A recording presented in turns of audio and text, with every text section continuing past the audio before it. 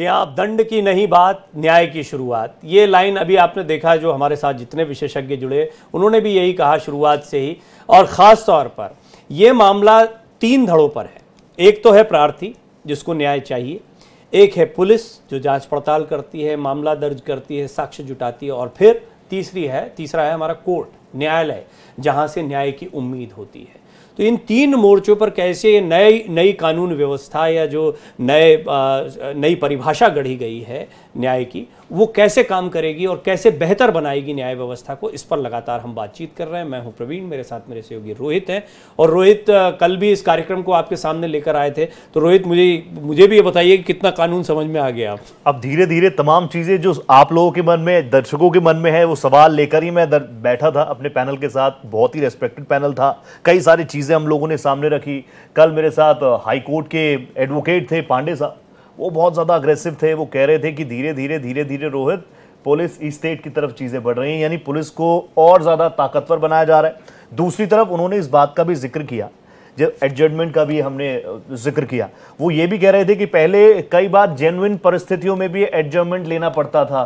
दूरस्थ अंचलों तक किसी व्यक्ति के ऊपर कोई केस है, उसको पता ही नहीं है, उसकी तारीख आज कोर्ट में उसको पता ही नहीं है। तो कई बार ऐसे जेनुइन केसेस भी होते हैं। अब हर चीज़ को समय सीमा। कल उन्होंने एक बहुत महत्वपूर्ण बात यह की थी कि जल्दी न्याय तो मिलना चाहिए, हर कोई मानता है। लेकिन जल्दबाजी नहीं होनी चाहिए उसमें। एक बात जो मुझे अभी समझ में आई, वो ये कि एक तो डिजिटाइजेशन ये डिजिटल युग है तो डिजिटाइजेशन से हमारी अभी ये जो सारी प्रक्रिया है प्रोसीजर जिसके बारे में बात हो रही थी, वो बड़ी दूर दिखाई पड़ती है। जैसा इन्होंने रोहित ने जानकारी दी कि और हमारे साथ में इस वक्त ए के जैन साहब जो कि पुलिस के इतने महत्वपूर्ण पद पर रह चुके हैं डीजीपी रह चुके हैं उत्तर प्रदेश के उन उनका मैं स्वागत करना चाहूँगा। और पुलिस व्यवस्था की बात कर रहे हैं तो ए के जैन साहब जब हमारे साथ मौजूद हैं तो क्यों ना उन्हीं से बात की जाए। जैन साहब बहुत बहुत स्वागत है सबसे पहले भारत एक्सप्रेस पर आपका। और आपसे यही जानना चाहेंगे कि एक ये नई बहस शुरू हुई कि इससे पुलिस ताकतवर होती है वकील ताकतवर होते हैं क्या ये नई व्यवस्था सचमुच पुलिस को और मज़बूत बनाती है और ताकतवर बनाती है? देखिए ये पुलिस को कतई ताकतवर नहीं बनाती है और पुलिस की ज़िम्मेदारी ज़रूर बढ़ाती है। पुलिस के का, का दायित्व और बढ़ जाएगा क्योंकि इस एक्ट में जो एक्ट्स हैं उनमें ये बहुत सी ड्यूटीज़ बढ़ा दी गई हैं पुलिस के लिए। ज़ीरो एफआईआर का सिस्टम है आप घर से बैठे ऑनलाइन एफआईआर कर सकते हैं। हम्म। महिलाओं को बच्चियों को सुविधा है बिना थाने पे जाए वो अपनी एफआईआर करा सकती हैं। 24 घंटे के अंदर अंदर उनका मेडिकल कराना होगा।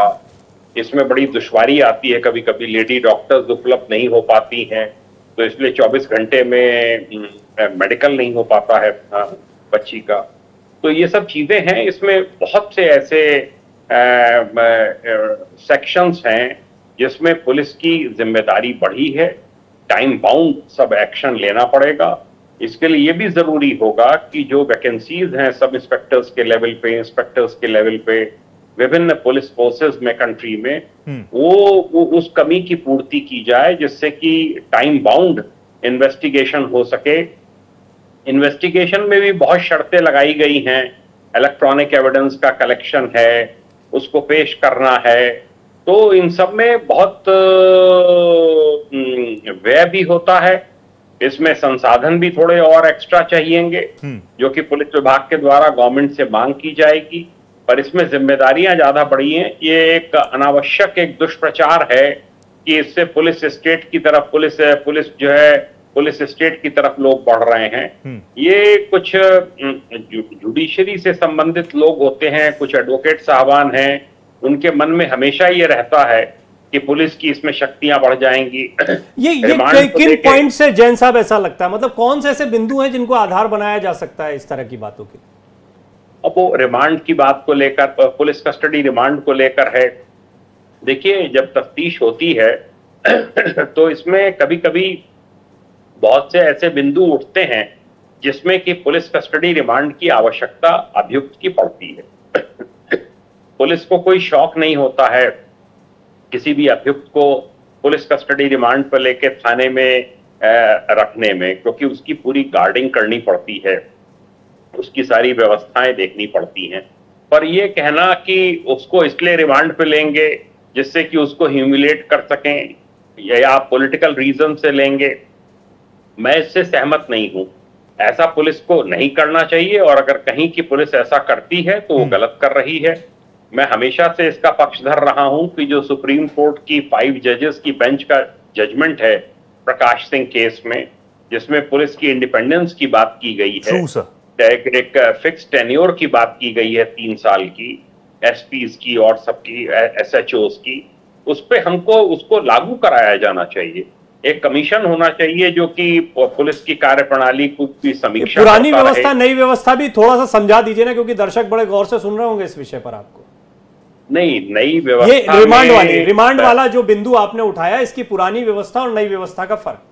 अब वो नई पुरानी व्यवस्था ये थी कि चौदह दिन के रिमांड का प्राविधान था और जो वो एक्यूज के जेल जाने के जेल में रहने के समय, इसमें नाइन, सिक्सटी डेज़ तक का उन्होंने उसमें प्रोविज़न दिया है कि अगर कभी कोई आवश्यकता हो तो आप उसको, पहले क्या होता था, जो प्रैक्टिकल था, मैं, उसमें यह था कि आपने एक बार रिमांड ले लिया 24 घंटे का मिल गया 48 घंटे का मिल गया, बहत्तर घंटे का मिल गया, और एक्यूज के जेल जाने के बाद रिमांड को एक्सटेंड कराना बार बार वो संभव नहीं हो पाता था। इसमें इन्होंने ये माना है कि पुलिस को कभी आवश्यकता पड़ सकती है कुछ गंभीर धाराओं के मुकदमों में, जैसे टेररिज्म टेररिज्म से रिलेटेड मुकदमे हैं, देश की सुरक्षा से संबंधित मुकदमे हैं डकॉइटी है, कोई बहुत इंपॉर्टेंट किडनैपिंग है तो उसमें ज़रूरत पड़ सकती है। तो ये कहना कि इससे पुलिस स्टेट बन जाएगी और पुलिस को ज़्यादा पावर्स दे दी गई हैं। देखिए, पुलिस कस्टडी रिमांड लेने से पहले मेडिकल कराना होता है। और पुलिस कस्टडी रिमांड जब खत्म होता है उसके बाद मेडिकल कराकर तब तब जेल में दाखिला होता है। और उसमें अगर कोई भी चोट आती है तो ये उसमें लेने के देने पड़ सकते हैं पुलिस को। मैंने कभी पुलिस कस्टडी रिमांड के दौरान कोई टॉर्चर करते किसी पुलिसकर्मी को नहीं देखा है। तो ये देखिए हर का अपना अपना एक व्यू पॉइंट है पर मैं ये समझता हूँ कि इसमें जिम्मेदारियाँ ज़्यादा बढ़ी हैं पुलिस के लिए। काम ज़्यादा बढ़ा है। ज़ाहिर सी बात है जैन सर आपने कल भी इन तमाम चीज़ों को लेकर बहुत दिल खोलकर बात रखी थी और तब भी आपने कहा था आपने जो पुलिस की इंडिपेंडेंस को लेकर बात की थी मैंने कल भी आपसे उस पर सवाल पूछा था आज भी पूछूँगा। तो हमारे साथ तमाम मेहमान बने हुए खासतौर पर देखिए कानून व्यवस्था को दो सिरों पर समझना बड़ा ज़रूरी है पुलिस की कार्यप्रणाली को समझना ज़रूरी है और न्याय व्यवस्था न्यायपालिका यानी कोर्ट के ज़रिए इसको समझना बहुत ज़रूरी है। तो तमाम मेहमान हमारे साथ लगातार जुड़ रहे हैं और उत्तर प्रदेश के पूर्व डीजी ए के जैन साहब तो डीजीपी हमारे साथ बने ही हुए हैं, उनसे हम लगातार बातचीत कर ही रहे हैं। तो मैं जैन सर, आपसे तो जितनी बात करूँ, मैं घंटा भर आपसे बात कर सकता हूँ इस मसले पर। बड़ी सारी जानकारियाँ इस बारे में आम लोग लेना चाहते हैं। आम आदमी कैसे सशक्त बन रहा है, वो थोड़ा सा बताएँ। अगर आप, आपने भी इसके कुछ अभी सरसरी पहलू देखे होंगे, या कितना आप इसको स्टडी कर पाए, और उसमें आम आदमी के लिए क्या खास निकल कर आया? देखिए, आम आदमी के लिए एक सोच ये है कि दंडात्मक नहीं है, न्याय न्याय दिलाने हेतु ये व्यवस्था की जा रही और न्याय की दिशा में ये प्रयास है कि उसको शीघ्र से शीघ्र न्याय मिले। सालों साल उसको ना भटकना पड़े, चक्कर ना लगाने पड़े, कोर्ट कचहरी के तारीख मिल रही है, तारीख पे तारीख तारीख पे तारीख हो रही है, उसको परेशानी हो रही है और उसका पैसा व्यय हो रहा है। तो इसके लिए यह है कि उसको शीघ्र से शीघ्र पुलिस भी करे और कोर्ट्स की भी ज़िम्मेदारी डाली गई है कि वो जो है कितने समय में इसका जजमेंट इसमें दे देंगे और इसको अनावश्यक पेंडिंग नहीं रखेंगे। जो 60 डेज़ की मियाद है कि साहब उसमें उनको जो है वो सुनवाई के उपरांत उनको जजमेंट देना होगा। इससे राहत मिलेगी और जो पाँच करोड़ मुकदमों की पेंडेंसी है, जो बढ़ती जा रही है, ये कम नहीं हो रही है, बढ़ती जा रही है, उसको उसको कम करने में मेरा ये मानना है कि हमें सहायता मिलेगी। जी। जैन साहब साथ ही साथ में एक बार बार जो बात कही जा रही थी, वो इंफ्रास्ट्रक्चर के बारे में कही जा रही थी और ये बहुत ज़रूरी है। पुलिस अपना काम अच्छे से करे न्यायपालिका अपने काम अच्छे से करे। हम डेफिनेशन में अगर डिजिटाइजेशन डाल देंगे, हम लिखकर बता देंगे कि अब डिजिटली ऐसा होना चाहिए, वैसा होना चाहिए। लेकिन हम, क्योंकि आप आप इतने महत्वपूर्ण पद पर रहे हैं और उत्तर प्रदेश जैसे प्रदेश में तो आप जानते होंगे कि हमारा इंफ्रास्ट्रक्चर किस लेवल का है। अगर हमें डिजिटल पुलिसिंग की तरफ़ जाना है या कार्यवाही को पूरा इतना फास्ट और रैपिड बनाना है तो। देखिए, मेरा ये मानना है उत्तर प्रदेश पुलिस के संबंध में कह सकता हूँ कि जो ज़िम्मेदारी आप देंगे, वो कितनी भी दुरूह क्यों नहीं हो? वो उसका, उसको उस पर वो खरे उतरेंगे। आप उनको कोई भी बात बता दीजिए तो मैं इस, कभी भी उसमें ना नहीं जो थोड़ी बहुत दुश्वारी आएँगी, आज की तारीख में देखिए, जो कांस्टेबल्स आ रहे हैं, सब इंस्पेक्टर्स आ रहे हैं, ये बीटेक हैं बी कॉम है एम कॉम है एमबीए किए हुए हैं कांस्टेबल्स तो इसलिए वो कंप्यूटर सेवी भी हैं मोबाइल का प्रयोग अच्छी तरीके से जानते हैं, और सब तरह की एविडेंस वो कलेक्ट कर सकते हैं, और कर भी रहे हैं। ये जो बहुत सी एविडेंसेस इस, आपकी अलाउ की गई हैं एविडेंस एक्ट के तहत, ये बहुत ही एक अच्छा कदम उठाया गया है, जो जो समन्स वगैरह जो सर्व करने का ऑर्डर्स हैं कि थ्रू व्हाट्सएप मैसेज वरना अभी कांस्टेबल मारे मारे घूमते थे एक एक थाने से तीन तीन चार चार कांस्टेबल्स निकले रहते थे सम्मन सर्व सर्व करने के लिए। इन सबसे बहुत राहत भी पहुँचे। राहत भी मिली और कल भी आपने ज़िक्र किया था आपसे तो जब भी बात करते प्लेजर ही रहता है। कल भी आपने अपने एक्सपीरियंस भी शेयर किया था कि आपके टाइम पे क्या कुछ चीज़ें थी पुलिसिंग में कितना बदलाव अब आया है। और वकीलों का पहलू ज़रूर आना चाहिए। इसलिए भी महत्वपूर्ण है क्योंकि अब ये जो न्याय व्यवस्था आप देख रहे हैं, मैं बार बार कह रहा हूँ कि दो दो इसके महत्वपूर्ण स्तंभ हैं, पुलिसिंग भी और ए के जैन साहब जैसे सीनियर अधिकारी इसको समझा रहे हैं। इससे पहले अशोक कुमार जी ने भी इस पर काफ़ी जानकारियाँ दी हैं। तो हम ये समझ सकते हैं कि पुलिस के लिए अब मेहनत का काम होगा, ये भी बताया जा रहा है। कुछ मामलों में पुलिस की शक्ति बढ़ेगी भी, लेकिन ज़िम्मेदारी के साथ बढ़ेगी, जो उसके दुरुपयोग की बात कही जाती है, वो एक तरीके से भ्रामक बात है, ये भी बात जैन साहब ने कही है। लेकिन वकीलों के लिहाज से भी जो जानकारियाँ हमारे पास आई, और जितना अभी पैनल पर मुरारी तिवारी साहब या दुबे साहब, तमाम सीनियर अधिवक्ताओं ने इस पर जानकारी दी, और उनका कहना था कि अब ख़ास तौर पर एविडेंसेस को लेकर या फिर जो कोर्ट से चीज़ें मांगी जाती है, वो रैपिड होंगी। इसीलिए मामला तेज़ होगा। क्या राखी जी अब हम आपको सुन पाएँगे? एक बार आप आ, कुछ कहिए तो ताकि आपकी आवाज़ हम तक पहुँच पाए।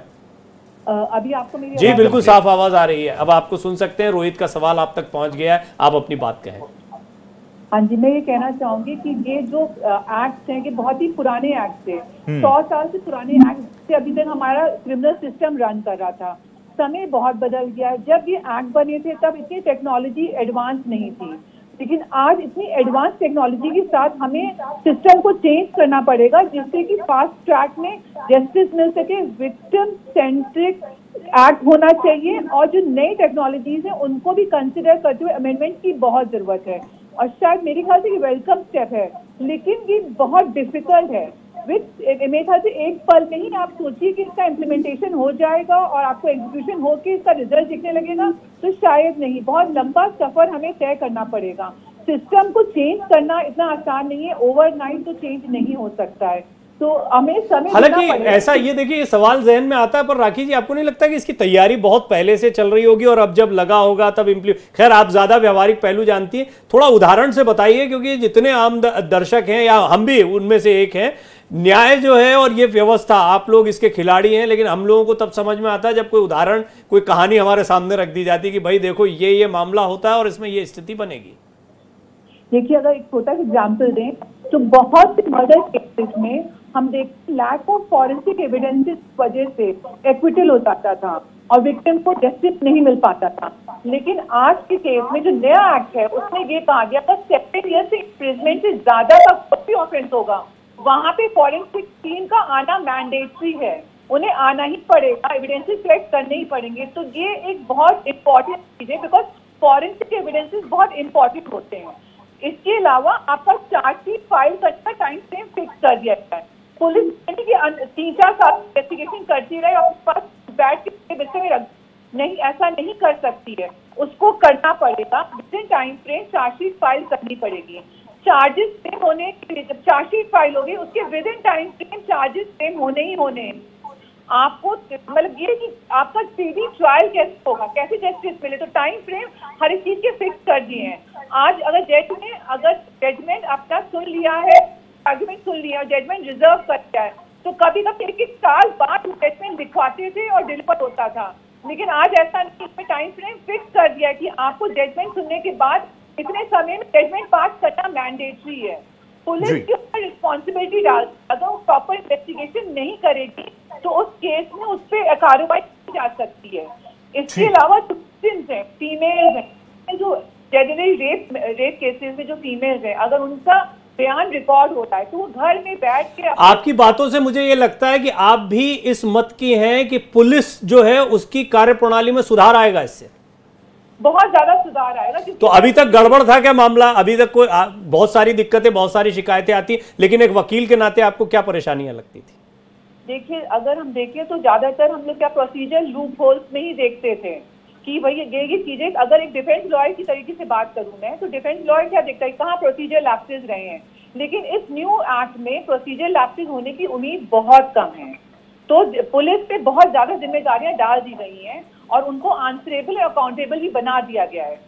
और इसके अलावा कि विक्टिम को ध्यान में रखते हुए कि विक्टिम को कोई भी प्रॉब्लम ना हो घर बैठे वो ई ई एफ़ आई आर करा सकती है ज़ीरो एफ़ आई आर करा सकती है। तो ये चीज़ें पहले नहीं नहीं बस यहाँ यहाँ इसके इसके आगे वाली बात आपसे सुनेंगे लेकिन आपने जितनी बात अभी तक कही है वो मुझे लगता है ए के जैन सर के लिए एक सवाल की तरह भी है।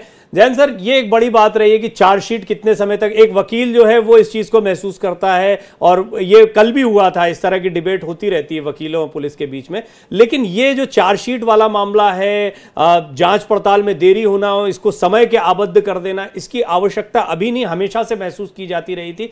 इसको एक तरीके से नियम की तरह डालना क्यों पड़ रहा है? ये हुआ क्यों नहीं अभी तक? आपका प्रश्न समझा नहीं।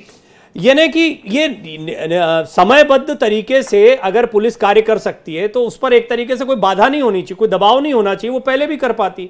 तो क्या अभी आपको लगता है नई व्यवस्था में अब वो तेज काम करने लगेंगे और करने लगेंगे तो कैसे? पहले से अलग फ़र्क क्या आ जाएगा? देखिए, एक ज़िम्मेदारी जब दी जाती है ऑर्डर्स होते हैं तो पुलिस का फ़र्ज़ बनता है कि उनको कंप्लाई करें उनसे।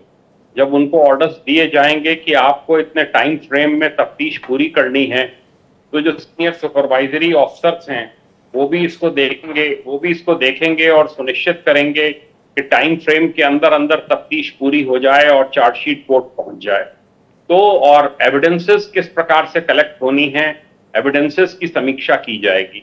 धीरे धीरे देखिए शुरू शुरू में थोड़ी सी दुश्वारियाँ आएँगी, हालाँकि मेरा ये मानना है कि 75 परसेंट एट्टी परसेंट एक्ट पहले वाला ही है। नए सेक्शंस इसमें जुड़े हैं। कोई सेक्शन बदलने से अब मर्डर का सेक्शन 302 ना हो के 101 हो जाए 103 हो जाए उसका क्या फ़र्क पड़ता है? हम्म। आप तीन सौ की जगह आपको 103 लिखना है। तो ज़्यादातर पनिशमेंट्स वही हैं। कहीं कहीं पे पनिशमेंट बढ़ाए गए हैं। महिला संबंधी अपराधों में बालिक बच्चियों से संबंधित अपराधों में रेप के केसेस में ये बढ़ाए गए हैं। वो ठीक भी है।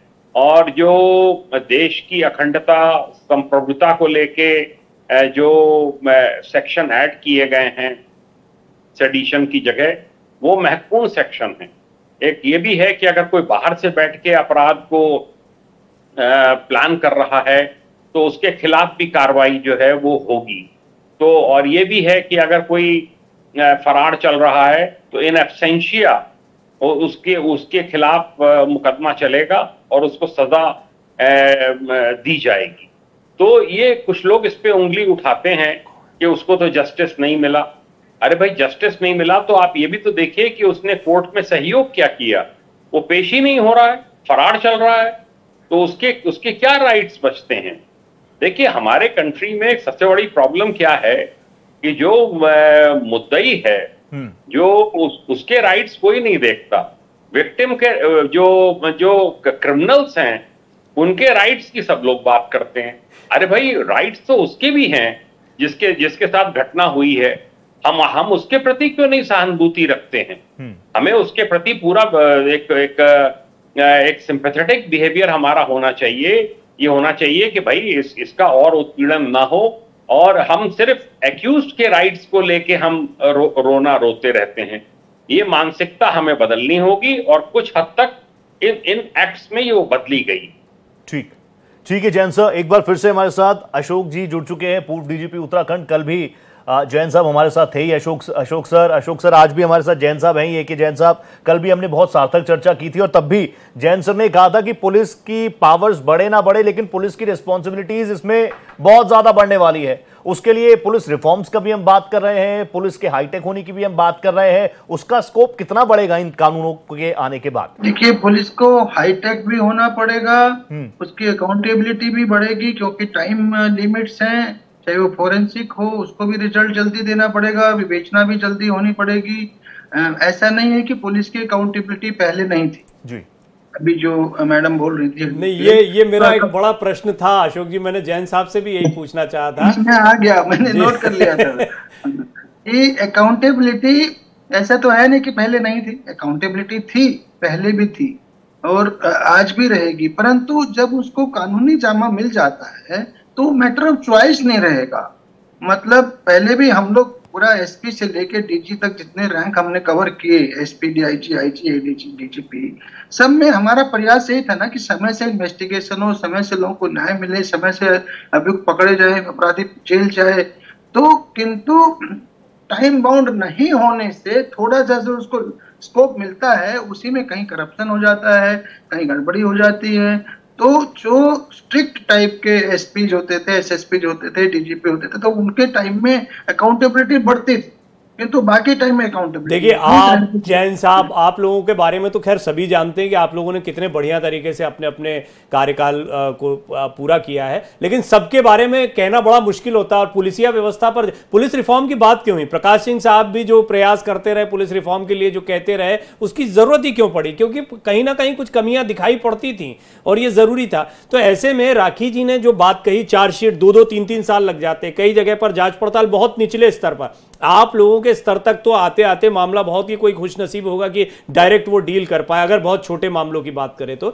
तो ऐसे में इस सिस्टम में पहले कुछ खामियाँ हैं जो दूर होंगी, क्या इस बात को स्वीकार किया जाए? मेरे विचार से ज़रूर होंगी, क्योंकि अब उसको कानूनी जामा मिल गया ना मैंडेटरी हो गया कि इतने दिन में विवेचना पूरी करनी ही करनी है। यद्यपि उसको अचीव करना मैंने कहा बहुत मुश्किल होगा, क्योंकि हमारे पास स्टाफ की भी शॉर्टेज रहती है। आयुष की शॉर्टेज रहती है, सब इंस्पेक्टर इंस्पेक्टर की कमी रहती है। फोरेंसिक रिपोर्ट इतने जल्दी टाइम से आ पाएगी कि नहीं आ पाएगी, ये सब सवाल है। ये सब कैपेसिटी बिल्डिंग के सवाल है। परंतु एटलीस्ट ये मैंडेटरी हो जाने से उसकी अकाउंटेबिलिटी खाली पुलिस के प्रति ही नहीं रही, आयोग के कोर्ट के प्रति भी होगी कि टाइम से क्यों नहीं आई आपकी? चार्जशीट। देर फोर इससे फ़र्क पड़ेगा और आम जनता के और इससे फ़र्क पड़ेगा और सकारात्मकता की बात हम लगातार कर रहे हैं। कॉल जी भी हमारे साथ जुड़ चुकी है। ज़बरदस्त पैनल लगातार हमारे और साथ मैं बता दूँ आप हाँ। पूर्व डीजीपी झारखंड है निर्मल जी ये भी उनका परिचय भी दे दें। अशोक कुमार जी उत्तराखंड के पूर्व डीजीपी उत्तर प्रदेश के पूर्व डीजीपी ए के जैन साहब तो तीन तीन पूर्व डीजीपी हमारे साथ बैठे हुए हैं। देश हम्म। के अलग अलग महत्वपूर्ण राज्यों में महत्वपूर्ण भूमिका निभा चुके हैं। और राखी जी से आप कुछ प्रश्न जी राखी जी सिंपल हम लगातार इस पूरे मसले को लेकर बात करें बहुत पॉजिटिव पॉजिटिव बातें हो रही हैं। अभी हम इस बात का भी ज़िक्र कर रहे थे सबने सुना ही था justice delayed is justice denied लेकिन पिछली व्यवस्थाओं में जो लगातार चीज़ें हम लोग के सामने आई फॉल्स केसेस की बातें हमने की दस दस साल तक तमाम चीज़ें चलती रही दस साल बाद बाइज्जत बरी हो गए। सोशली उसके साथ क्या कुछ हुआ सब जानते हैं इकोनॉमिकली पूरी तरीके से चौपट वो हो गया। अब वो बाइज्जत बरी तो हो गया, लेकिन उस इज़्ज़त का करे तो करे क्या, क्योंकि समाज में रहना मुश्किल। तो क्या ये तमाम चीज़ें जो एक आम आदमी के मन में होंगी, जो क्वेश्चन मार्क जो कंफ्यूजन होगा, इन परिस्थितियों में भी बदलाव आएगा क्या? क्योंकि ये बहुत ज़रूरी है। देखिए, जैसे आपने बोला ना कि पूरे सालों साल जेल में रहा और उसके बाद वो एक्विटल हो गया तो उसमें भी बदलाव आता है? अगर किसान जिसने कोई ऑफेंस कमिट किया है और उसका ट्रायल नहीं हो पाया है परिस्थितियों की वजह से और मतलब टू थर्ड ऑफ़ अंडर है वो तो उसके बाद उसको रिलीज़ किया जा सकता है। अगर कोर्ट को की वॉइस ऑब्स्टिकल है, आपकी आवाज़ बहुत स्पष्ट नहीं आ रही है। फिर से कोशिश करते हैं, राखी जी, आपकी, आप, आपकी वॉइस ठीक ठीक हमारे पास आ पाए। इसका प्रयास करते हैं। हमारी टीम एक बार फिर संपर्क करती है आपसे।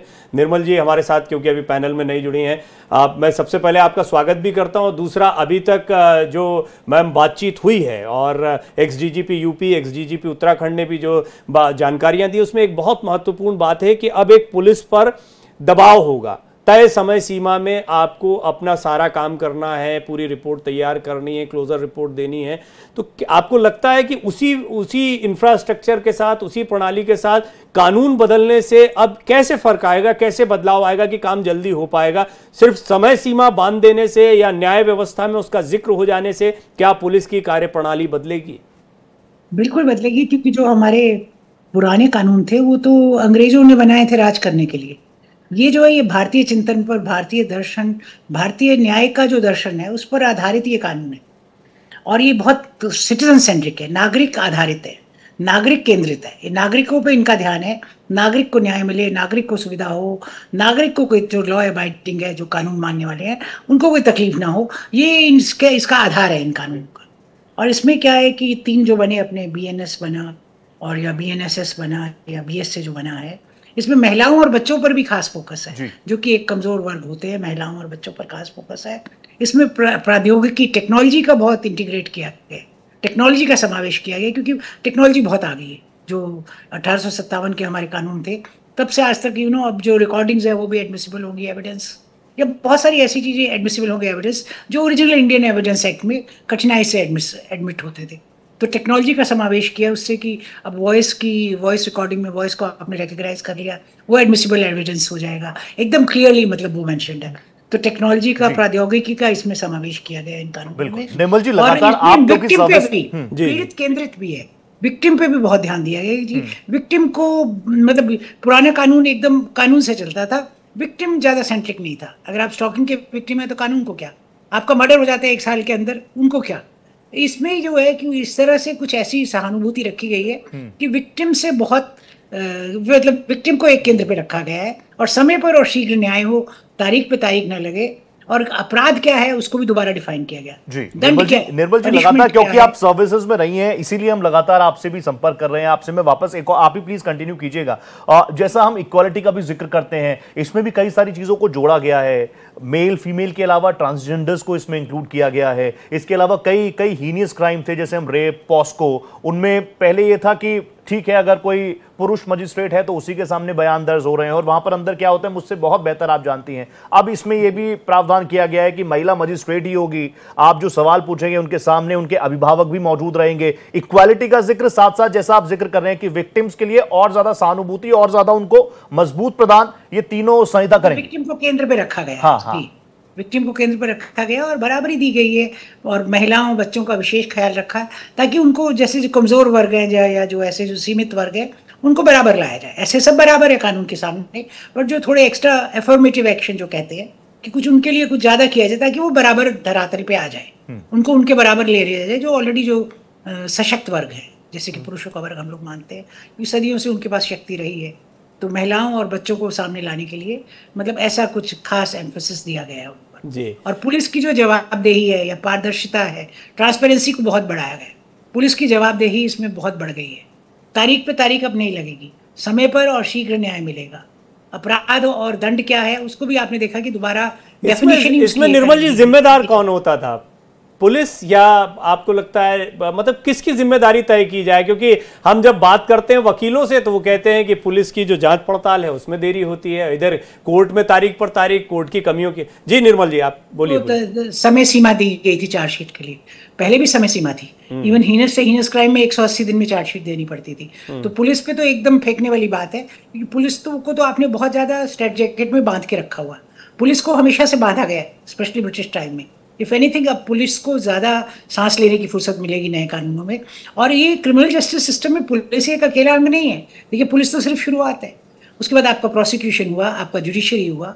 क्रिमिनल जस्टिस वही मेरा तो मतलब मान्यता है चालीस साल के अनुभव के बाद कि सबसे पहले अगर किसी का ट्रायल पर डालना है तो आप क्रिमिनल जस्टिस सिस्टम का ट्रायल कर लीजिए। हम्म। तो हम उम्मीद करते हैं कि नए कानून के साथ जी तो अब अब राखी जी इस पर अब आप बताइए। देखिए निर्मल जी ने एक पॉइंट रखा। आपने एक जो पॉइंट रखा था वो दूसरी तस्वीर को दिखाता है। आप पुलिस के नज़रिए से भी देखिए न्याय व्यवस्था को और उनको लगता है कि इधर भी काम होना चाहिए। तारीख पर तारीख कहाँ मिल रही है? अब नए जो कैट है उसमें आप दो बार से ज़्यादा एडजमेंट ले ही नहीं सकते हैं। तो ऐसा नहीं है कि कहते हैं अब जैसे आपका ई सर्विसिंग हो सकती है पहले आपको प्रॉब्लम होता है विटनेसेस को बुलाना आसान नहीं होता था सर्विस होना नहीं हो पाता था बार बार सर्विस होती थी। अब आप व्हाट्सएप पे भी सर्विस करा सकते हैं तो इन सब चीज़ों से भी तो आपकी चीज़ें आगे जल्दी जस्टिस मिलेगा तारीख पे तारीख नहीं लगेगी। अगर एक इंसान जो कि प्रोक्लेम ऑफेंडर है तो वो उस अगर नहीं आ रहा है नहीं पेश हो रहा है तो उसके एबसेंट में ट्रायल पूरा स्टार्ट होकर कंक्लूड हो जाएगा। उसको पब्लिकेशन होगा नब्बे दिन का समय दिया जाएगा कि तुम आओ। और अपनी कहते ट्रायल को ज्वाइन करो। अगर तुम नहीं ज्वाइन कर रहे हो तो तुम्हारे अगेंस्ट माई एबसेंस से तुम्हारा ट्रायल पूरा कंक्लूड कर दिया जाएगा। तो ये सारे जो नए प्रावधान आए हैं तो उससे जस्टिस सिस्टम में भी चेंजेस आए हैं। ऐसा नहीं है कि सिर्फ़ पुलिस में चेंजेस आए ट्रायल में भी चेंजेस लाए गए जिससे कि विक्टिम को जल्द से जल्द अच्छा राखी जी राखी जी क्योंकि प्लीज़ आप ही कंटिन्यू कीजिएगा। कल भी हम लोग इस पर बात कर रहे थे दो एडजमेंट जिसका ज़िक्र आपने किया। एज एन एडवोकेट क्या आपको लगता है इससे चीज़ें मज़बूत होंगी? क्योंकि बार बार तो हम ये लोग कह ही हम ये बात कह ही रहे हैं कि ठीक है जल्दी न्याय होना चाहिए लेकिन जल्दबाजी नहीं होनी चाहिए। देखिए आपका अगर उन्हें दो एडजमेंट का दिया है दो दो बार ज़्यादा एडजमेंट नहीं ले सकते तो ई ट्रायल का भी तो प्रोविज़न डाला है। हाँ। अगर कोई वकील या कोई विटनेस नहीं आ पा रहा है तो वो वो वर्चुअली तो ज्वाइन कर ही सकता है ना। तो इसलिए वहाँ पे उस चीज़ का भी तो ध्यान रखा गया है कि कैसे जस्टिस मिले। ये ना हो कि तारीख पे तारीख लगे। वो सिस्टम ना हो इस को तो डिस्करेज करने के लिए कि डिजिटलाइजेशन हुआ है ट्रायल का भी और इन्वेस्टिगेशन का भी कि आप डिजिटल फॉर्म में सारे इन्वेस्टिगेशन करिए और ट्रायल भी करिए कि जिससे जल्द से जल्द न्याय मिल सके और आपका यानी दबाव सिर्फ़ पुलिस पर नहीं है दबाव जुडिशरी पर भी है। वकीलों पे भी है। वकीलों पर भी है। सब पे दबाव है तभी जस्टिस हो पाएगा तभी विक्टिम को न्याय मिल पाएगा। जी। अशोक जी, अब मैं एक महत्वपूर्ण बिंदु पर, क्योंकि निर्मल जी और आप दोनों मौजूद हैं और ये बहुत ही महत्वपूर्ण बिंदु था और लेकिन इतनी इतनी इंटरेस्टिंग बातें हुई कि बहुत सारी चीज़ें और भी हमको भी समझने को मिली। आतंकवाद को लेकर डेफिनेशन देना है इसमें। आतंकवाद पर बड़े क्लैरिटी के साथ में दिया गया। पहले इस पर बहुत ज़्यादा जानकारियाँ नहीं थी, लेकिन इस पर बड़ा फूक फूक कर कदम भी रखना पड़ेगा। ये जो है बड़ा सेंसिटिव मसला है। इसको थोड़ा सा समझाइए, आतंकवाद की श्रेणी क्या है, क्या बदलाव हो गया है, और किस तरीके से सतर्कता बरतने की ज़रूरत है, जो लोग अभी कानून को बहुत अच्छे से नहीं जानते, उनको कोई भी काम करने से पहले। देखिए, आतंकवाद का जो मुद्दा है, वो राष्ट्रीय सुरक्षा से जुड़ा है। इसलिए उसको हमारे मेन एक्ट में होना ही होना चाहिए था। अभी तक जो है, वो मेन एक्ट में ना होकर के स्पेशल एक्ट्स में आता था। आपको पता ही है कि पहले टाडा आया, फिर लोगों ने जब पंजाब का आतंकवाद खत्म हो गया तो अचानक से बोलना शुरू कर दिया टाटा तो काला कानून है, उससे पहले क्यों नहीं बोला? तो कहीं ना कहीं राजनीति हो जाती है। उसके बाद पोटा आया, वो भी अच्छा कानून था, उसमें भी कुछ कमियाँ ढूंढ दी, अब यूएपी है। तो जब हमारा मेन एक्ट डेढ़ सौ साल बाद बदले हैं तो इसलिए आतंकवाद को उसमें टेररिज्म को उसमें जगह दे करके प्रॉपरली डिफाइन कर दिया गया है तो ये बहुत अच्छा कदम है मैं इसको इसको ये मानता हूँ। एक पॉइंट बीच में डिस्कशन में छूट गया था मैं उसको उधर कनेक्ट करना चाह रहा हूँ कि जो। विवेचना टाइम बाउंड की है हम्म, ठीक है तो ये एक बड़ा चेंज आना चाहिए इसके थ्रू कि पुलिस विवेचना को इन्वेस्टिगेशन को भी बराबर का इम्पोर्टेंस दे। आप सबको पता है कि पुलिस मारा मारी में, क्योंकि फोर्स कम है, हमारे पास आदमी कम है तो law and order first priority पाता है। वीआईपी सुरक्षा भी एक प्रायोरिटी पाती है, और कैजुअलिटी कौन होता है? इन्वेस्टिगेशन विवेचना। अब उसको कानूनी सपोर्ट मिल गया है कि भाई कानूनी मैंडेटरी है तो कहीं ना कहीं विक्टिम को न्याय टाइम से मिले, जल्दी मिले, विवेचना जल्दी से पूरी हो तो ये भी विवेचना को प्रायोरिटी मिलेगी, मिलनी चाहिए। तो हो सकता है, जैसा मैंने कहा कैपेसिटी बिल्डिंग का इश्यू ज़रूर रहेगा कि एक बार पुलिस रिफॉर्म्स की भी आपने कहा, आपको याद है, माननीय सुप्रीम कोर्ट ने कहा है कि लॉ एंड ऑर्डर पुलिस और विवेचना पुलिस अलग होनी चाहिए। पर कहाँ से आदमी तो होते नहीं है। सब इंस्पेक्टर इंस्पेक्टर बहुत कम होते हैं, विवेचना उन्हीं को करनी है। तो इसलिए वो एक बड़ा मुद्दा है कि ये रिफॉर्म भी इसके थ्रू पॉसिबल है। अगर हम दोनों को अलग अलग कर सकें तो वो उसके लिए स्ट्रेंथ चाहिए बस यही जी। जैन साहब ट्रेनिंग जो है वो वैसे तो दी गई है उसकी कुछ जानकारी भी दी लेकिन अभी ये नए नई व्यवस्था को और इफ़ेक्टिव बनाने के लिए बहुत बड़े पैमाने पर ट्रेनिंग की आवश्यकता होगी। तो हम कितने इक्विप्ड हैं और कितना आपको इसकी पॉसिबिलिटी लगती है कि एक तरीके से वो रिफॉर्म का एक छोटा रूप भी देखने को मिलेगा और सबको सबकी ट्रेनिंग भी हो पाएगी? देखिए, इसके लिए मास्टर ट्रेनर्स तैयार किए गए हैं यूपी पुलिस के लिए और उन्होंने अधिकांशतः फोर्स को इसकी ट्रेनिंग दे दी जो एप्स हैं, जो बने हैं नए, वो सबको अवेलेबल करा दिए गए सबके पास नई जो बुक्स हैं, ये जो तीनों कानूनों की, ये सब उनके पास में उपलब्ध हैं। सब बता दिया गया है, थानों में सब किताबें उपलब्ध हैं। कोई अगर डिस्कशन करना है तो वहाँ पे कर सकते हैं कि क्या कोई इसमें खास बदलाव ही नहीं है। मेरा ये मानना है कि एक इसको अनावश्यक टूल दिया जा रहा है। हाँ तफ्तीश के तफ्तीश किस प्रकार से होगी, ये महत्वपूर्ण है। ये नहीं है कि सेक्शन बदल गया, इससे कोई दुश्वारी आएगी, इससे कोई दुश्वारी नहीं आएगी। ये तो दो दिन में पता चल जाएगा कि कौन सी कौन सी धारा लगनी है इसमें। बुक देख नहीं ये ये तो आपका बिल्कुल कहना ठीक है इसमें नंबर बदल देने से 420 को कुछ और कह देना या कुछ कह देना इससे कोई बहुत फ़र्क नहीं पड़ने वाला है। कोई फ़र्क नहीं हम हम उस प्रोसीजर की ही बात कर रहे हैं कि इन्वेस्टिगेशन फॉरेंसिक टीम का पहुँचना टाइम बाउंड आपको आ, पूरी जाँच पड़ताल को पूरा ये जो महत्वपूर्ण बिंदु है इसके लिए हम कितने इक्विप्ड हैं और इसकी ट्रेनिंग की मैं बात कर रहा था। देखिए मेरा ये मानना है कि जब आपके ऊपर ज़िम्मेदारी आती है तो आपको संसाधन भी मिलते हैं। ये प्रदेश में ऑलरेडी योगी जी ने ऑर्डर कर दिया है कि हर डिस्ट्रिक्ट में एक फॉरेंसिक साइंस लेबोरेटरी खुलेगी। जिस ये इसलिए भी ज़रूरी है अब जो आ, आदेश हुआ है उसको उसके मद्देनजर बहुत ज़रूरी है कि हर डिस्ट्रिक्ट में फॉरेंसिक साइंस लेबोरेटरी हो।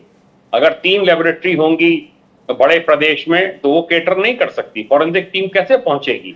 फॉरेंसिक फॉरेंसिक टीम्स हैं जिलों में पर फॉरेंसिक लेबोरेटरी भी खुल जाएगी। तो तत्काल जो है परीक्षण हो सकेगा और परीक्षण की रिपोर्ट आ सकेगी। वरना अभी क्या है? बड़ा लंबा बैकलॉग चल रहा है।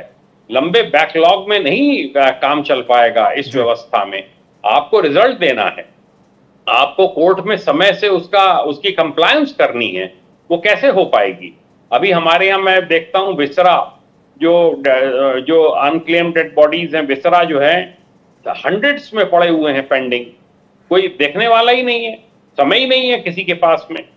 तो ये जब आपको आपको जिम्मेदारियाँ दी गई हैं तो गवर्नमेंट फिर आपको संसाधन भी देगी। जी। सब चीज़ें मुहैया होंगी इक्विप करवाएगी सरकार की भी ये ज़िम्मेदारी होगी। अशोक जी भी हमारे साथ हैं और राखी जी भी हमारे साथ है। राखी जी के पास में आ रहा हूँ निर्मल जी भी हमारे साथ है। राखी जी मैं आपके पास आ गया। अभी हम प्रोसीजर का ज़िक्र कर रहे थे क्योंकि आप जुडिशियल सिस्टम से जुड़ी हुई है। तो एक सवाल ये भी कि जुडिशियल प्रोसीजर्स क्योंकि आप लोगों ने भी बड़ी तैयारी की होगी। अगर पुलिस के ऊपर ज़िम्मेदारी है सबकी निगाहें उम्मीदों भरी निगाहें पुलिस के ऊपर रहती हैं तो आप लोगों के ऊपर भी रहती है। और मेरे दो दोस्त हैं एक दिल्ली पुलिस में है एक एडवोकेट है। तो हम लोग आपस में जब चर्चा कर रहे थे तो बहुत ही हल्के माहौल में हम लोग बात कर रहे थे। तो मेरा एडवोकेट दोस्त कहता है कि भैया, आप तो पुलिस वाले हैं, आपका काम है हथकड़ी पहनाना और मेरा काम है हथकड़ी खुलवाना। तो ये जो पुलिस और वकीलों के बीच का रिलेशन है, ये तो बहुत वाम हमेशा से रहा है। लेकिन जो हम जुडिशियल प्रोसीजर्स की बात कर रहे हैं, आपको लगता है वो इतना सशक्त है? या इतना सशक्त क्योंकि अब तमाम चीज़ों का हम ज़िक्र कर रहे हैं। हम टाइम बाउंड्स की बात कर रहे हैं हम एक ट्रांसपेरेंसी की बात कर रहे हैं सबकी पहुँच में न्याय हो हम इसकी बात कर रहे हैं तो ये जुडिशियल प्रोसीजर उतना ज़्यादा मज़बूत एनहेंस है? देखिए मैं कहना चाहूँगी अगर बड़ी सिटीज़ में बात करें तो काफ़ी हद तक वो मज़बूत है। हम्म। लेकिन हंड्रेड परसेंट आपका चाहे वो पुलिस हो चाहे कोर्ट्स हो चाहे कहते हैं लॉयर्स हो कोई भी हंड्रेड परसेंट तरीके से प्रिपेयर्ड अभी नहीं है। लेकिन हाँ समय लगेगा, लेकिन बदलाव ज़रूर आएगा। तो अभी सबको इसमें होमवर्क करने की ज़रूरत है और एकजुट होकर ये कोशिश करने की ज़रूरत है कि कैसे न्याय मिल सके। अगर कोई इनोसेंट फंसा हुआ है तो उसको कैसे जस्टिस मिल सके और विक्टिम जो है एक्चुअल उसको कैसे जस्टिस मिल सके। तो इसमें काफ़ी ज़्यादा होमवर्क करने की ज़रूरत है, लेकिन काफ़ी चेंजेस आए जो कि बहुत ही वेलकम चेंजेस हैं। फॉर एग्ज़ाम्पल अगर एमएससीटी हम अगर मोटर एक्सीडेंट की बात करें तो पहले लोग वहाँ से भाग जाते थे। तो आप मोटर एक्सीडेंट में अगर हिट एंड रन के केसेस में बहुत ही स्ट्रेंजेंट पनिशमेंट हो गई है, और अगर आप उसी वक्त जो ऑफेंडर है, जिसने एक्सीडेंट कमिट किया है, वो अगर विक्टिम को फॉरेन हॉस्पिटल ले जाता है और फ़र्स्ट एड दिलाता है तो उस चीज़ को जब आप सेंटेंस दे रहे तो कंसिडर किया जाएगा। तो बहुत सी ऐसी चीज़ें जो कि विक्टिम के ध्यान में रखते हुए चेंजेस लाए गए हैं, और जिनको मतलब इम्प्लीमेंट करना और उसको अप्रिशिएट करना, हर हर कोर्ट को भी देखना पड़ेगा लॉयर्स को भी उनको बता असिस्ट करना पड़ेगा कोर्ट को कि ऐसे ऐसे हो सकता है। तो ये कलेक्टिव टीम वर्क है पुलिस लॉयर्स एंड जुडिशरी का। तभी इस, इस कहते हैं एक्ट का हंड्रेड परसेंट हम विक्टिम को दे पाएँगे। लेकिन एज ऑन डेट मैंने आपको कहा it's a welcome step but it will take time overnight तो कोई भी चेंज नहीं आ पाएगा। हमें एक्सपेक्ट भी नहीं करना चाहिए लेकिन धीमे धीमे मेका सिस्टम सशक्त होगा। आप कोविड इमीडिएटली आप लोगों के काम पर क्या असर पड़ा है? आप लोगों का जो आ, तरीका रहा है अभी कोर्ट में उसमें एक तो ये पढ़ना ये सारी चीज़ें और इस पर जैसा जैन साहब ने कहा कि ये कोई बहुत मुश्किल नहीं है चाहे पुलिस के लिए हो चाहे वकीलों के लिए हो कि धाराएँ क्या हुई हैं। लेकिन बाकी दूसरी कार्य प्रणाली में वकीलों पर क्या क्या फ़र्क आपने कहा था ज़िम्मेदारी और प्रेशर आप लोगों पर भी पड़ेगा। देखिए, आप जैसे पहले था, एक आप फिजिकली आप क्रॉस एग्जामिन कर लेते हैं। फ़िज़िकल क्रॉस एग्जामिनेशन करना किसी विक्टिम का बहुत आसान होता है। लेकिन वही आपको अगर वीसी में करना पड़ेगा तो पुलिस कहते लॉयर्स पे प्रेशर ज़्यादा होगा, क्योंकि वही कंफर्ट जोन नहीं होता। एक आप फिजिकली किसी चीज़ को पुट फॉरवर्ड करना जज एक तरफ़ लॉयर एक तरफ़ और कहते विक्टिम तीसरी जगह है तो उसका पूरा क्रॉस एग्जामिनेशन तीन अलग अलग जगह में, एक एग्ज़ाम्पल दे दूँ मैं आपको तो वो आपका प्रॉपरली होना तो लॉ जजेस के लिए भी बहुत सारे जजेस बोलते हैं, आप फिजिकली आके क्रॉस एग्जामिन कर लीजिए फिजिकली आप आर्ग्यूमेंट कर लीजिए। वो ईजियर रहता है। लेकिन अब हम लोग को डिजिटलाइजेशन के अडेप्ट करना ज़रूरी हो गया है। तो उसमें स्विच ओवर करना सब लॉयर के लिए इतना आसान नहीं होगा, क्योंकि बहुत से लॉयर जो डिजिटली फ्रेंडली नहीं है टेक्नोलॉजी नहीं आती है उनको यूज़ करना। कोविड के बाद आज भी वो इतने सालों बाद ही स्ट्रगल कर रहे हैं कि कैसे हम वर्चुअली आर्ग्यूमेंट करें कैसे वर्चुअली अपियर हों। तो वो पूरा सिस्टम चेंज करना और जैसे लॉयर्स को इक्विप कराना कि हाँ डिजिटली कैसे आप सब कुछ कर सकते हैं और टेक्नोलॉजी फ्रेंडली बनाना। हमें भी ट्रेनिंग की ज़रूरत है जिस तरीके से पुलिस को ट्रेनिंग की ज़रूरत है कि ई इन्वेस्टिगेशन कैसे करें वैसे हमें भी ट्रेनिंग की ज़रूरत है कैसे हम इफ़ेक्टिव तरीके से ट्रायल कर सके वर्चुअली और राखी जी आपने बड़ा बड़े बड़े अच्छे तरीके से आपने बहुत सारे पहलू जुडिशरी के भी रखे। बहुत बहुत धन्यवाद आपका। राखी जी आप लगातार हमारे साथ बनी रही।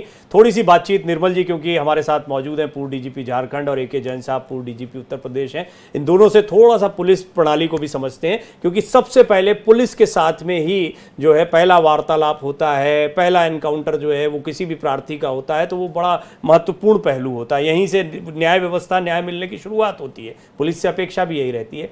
निर्मल जी, पुलिस रिफॉर्म की जो बात, मैंने अलग ही जैन साहब से भी ये बात कही थी, और पुलिस रिफॉर्म एक बहुत महत्वपूर्ण बिंदु रहा, जिस पर बड़ी चर्चा होती रही है। आपको लगता है ये उस तरफ़ एक कदम है? भले ही एक कहा जा रहा है कि टाइम बाउंड एक बाध्यता या एक दबाव रहेगा, लेकिन इससे पुलिस की कार्यप्रणाली जो है, उसको उसको सुधारने का एक प्रयास किया जा रहा है। निश्चित इसमें पुलिस की जवाबदेही बढ़ाई गई है पारदर्शिता ज़्यादा लाई गई है। तो निश्चित बट यू नो जैसे अंग्रेज़ी में बोलते हैं कि laws are as good as people implementing them अब ओवरनाइट थोड़े कि आपने सडनली तीस जून की रात में कुछ हो गया कि एक जुलाई सुबह हम सबके माइंडसेट बदल गए। चाहे वो कांस्टेबल है, चाहे वो बहुत वरीय पदाधिकारी है, चाहे वो सब इंस्पेक्टर है, चाहे वो थाना प्रभारी है। देखो laws are as good as people implementing them मानसिकता तो वही है। हमारे कानून क्या है? हमारी व्यवस्था क्या है? पुलिस प्रणाली क्या है? वो है जो कि दमन के लिए बनाई गई थी इंपीरियल पुलिस उसको आपने एक दिन रात में कर दिया इंडियन पुलिस सर्विस उससे मानसिकता थोड़ी बदल गई। आज आपने कानून तीनों के तीनों बदल दिए कुछ धाराएँ भी बदल दी। बहुत सारे नए पहलू आए जो कि बहुत वेलकम है। थ्योरेटिकली दे देयर परंतु क्या हमारी मानसिकता बदलेगी उसके लिए सेंसिटाइज करना पुलिस कांस्टेबल से लेके जो हायर जुडिशरी यही सवाल है आपको क्या लगता है बदलेगी? सेंसिटाइज करना पड़ेगा मेरे ख्याल से ओवरनाइट तो नहीं बदलेगी। ये मैं अपना अनुभव चालीस साल का बता रही हूँ। क्योंकि लोगों का जो माइंडसेट है वो बदलने में बहुत वक्त लगता है। बहुत इंपॉर्टेंट बात है इसलिए जैन साहब को शामिल करते हैं इसमें। जैन साहब क्या इसके लिए अगर प्रयास करना है जैसा निर्मल जी कह रही हैं तो क्या हो और के कब तक बदलेगी? और आपको भी क्या लगता है कि ओवरनाइट नहीं लंबा समय लगेगा लंबा समय कितना लंबा समय लगेगा? इसका भी कहना बड़ा मुश्किल है। नहीं नहीं मैं नहीं मैं नहीं मैं इसको नहीं मानता कि बहुत लंबा समय लगेगा। इसमें प्रयास कर, करना होगा। धीरे धीरे सबकी समझ में आ गया है। कि अगर वो नहीं करेंगे तो उनको दे विल बी पनिश्ड और पनिशमेंट कोई नहीं चाहता है, क्योंकि उससे आगे के प्रमोशंस और सब जो है परेशानी हो जाती है। करेंगे सीनियर ऑफिसर्स भी जाँच के दायरे में आएँगे तो सीनियर ऑफिसर्स भी पूरा दबाव बना के रखेंगे कि इसका पालन हो। और मेरे ख्याल से होगा, और धीरे धीरे पुलिस फोर्स जो है, जो नया पुलिस फोर्स आ रहा है जो नए लड़के आ रहे हैं, लड़के लड़कियाँ आ रहे हैं, ये मैंने देखा, बहुत पढ़े लिखे हैं, और कानून कानून का पालन करने वाले हैं। मैं आपको कहा ना कि बी टेक है बी कॉम है एम कॉम है एम बी ए है, ये कांस्टेबल्स आ रहे हैं, सब इंस्पेक्टर्स की छोड़ दीजिए। उनके पास अपने लैपटॉप हैं सबके पास में। सब सब जो है लिखा पढ़ी कर रहे हैं। सर हर के पास में एक एक दो दो मोबाइल्स हैं। सब हर चीज़ से वो परिचित हैं। और हर टेक्नोलॉजी को वो जानते हैं, हमसे हमसे बेहतर जानते हैं। हम लोग तो थोड़े पुराने युग के थे। तो वो सब करेंगे अडॉप्ट करेंगे, जल्दी करेंगे और नहीं करेंगे तो क्योंकि सजा पाएँगे। चर्चा के अंतिम दौर में है राखी जी दोबारा जुड़ी कुछ कहना भी चाहती हैं। राखी जी आप अपनी अपना एक क्लोजिंग कमेंट भी ज़रूर दें इस पर। खासतौर पर टेक्नोलॉजी को लेकर बड़ी बात हुई। शुरुआत से हम जब बात कर रहे थे कि तकनीक जानकारी मिलती रहेगी रैपिड हो जाएगा हम इतने इक्विप्ड हैं और न्यायपालिका के लिहाज से भी आपको ये बात लगती है या वकीलों के लिहाज से? देखिए, मैं कहना चाहूँगी जैसे जहाँ तक पुलिस की बात है तो पुलिस तो एक सा, एक एज के बाद रिटायर हो जाती है। यंग लोग आएँगे, वो इन्वेस्टिगेशन करेंगे, जैसे सर ने बोला। उसके अलावा जुडिशरी एक एज के बाद रिटायर हो जाएगी, लेकिन लॉयर्स की कोई रिटायरमेंट एज नहीं होती है। तो आपके जो यंग लॉयर्स हैं, वो तो टेक्नोलॉजी से वेल इक्विप्ड हैं, लेकिन जो सीनियर लॉयर्स हैं, वो आज टेक्नोलॉजी से वेल इक्विप्ड नहीं है। तो उनको तो ट्रेनिंग की ज़रूरत है क्योंकि उनको प्रैक्टिस कंटिन्यू करनी है। तो उसमें मुझे लगता है टेक्नोलॉजी आपने आज की डिमांड है नीड है, लेकिन उसके बारे में ट्रेनिंग भी सारे, चाहे जजेस हो, चाहे लॉयर्स हो, चाहे पुलिस हो, सबको देनी बहुत इंपॉर्टेंट है जिससे कि इफेक्टिवली जस्टिस मिल सके। तो जहाँ तक टेक्नोलॉजी की बात है तो वो आपका इंट्रोड्यूस करना it's need of the hour जिससे जिससे कि फास्ट ट्रैक में सब कुछ हो सके, और जल्दी कहते ट्रायल कंप्लीट हो सके, और जस्टिस जल्दी मिल सके। यही सबकी सोच भी है कि सबको न्याय मिल पाए सबकी पहुँच में न्याय हो इस चर्चा को हम और बढ़ा सकते हैं। आगे वापस आप लोगों के साथ जुड़ेंगे। Thank you so much Rakhi ji बहुत धन्यवाद। Nirmal Kaur ji thank you so much A K Jain साहब अशोक जी बहुत धन्यवाद आपका। आप लोग जुड़े हमारे साथ।